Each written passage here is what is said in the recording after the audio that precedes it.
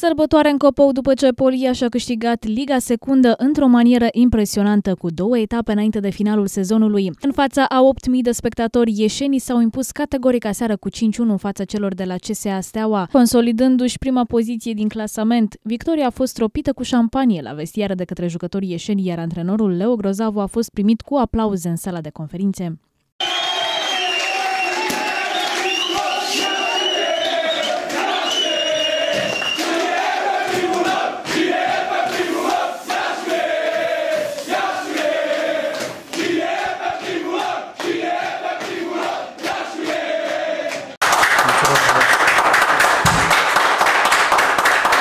詰め込もうと詰め Iașul a mai sărbătorit odată promovarea în Liga 1, de data aceasta din postura de câștigătoare a competiției Ligii Secunde. Politehnica a zdrobit aseară CSA Steaua după o victorie concludentă cu 5-1.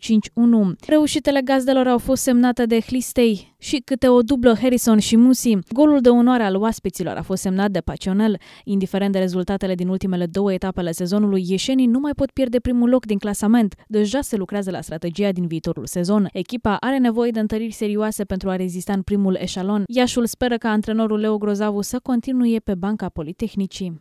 A fost momentul promovării acum două săptămâni sau cât a fost la meciul cu Oțelul. S-a mai stompat un pic, dar astăzi ne doream să încheiem din nou și conturile cu primul loc. Respectiv, tot întâlneam echipa care tot campionatul a stat acolo în coasta noastră sau chiar a fost în fața noastră multe etape. Era clar că nu-mi convenea situația, dar trebuia să o acceptăm. Am muncit în continuare, am crezut în continuare.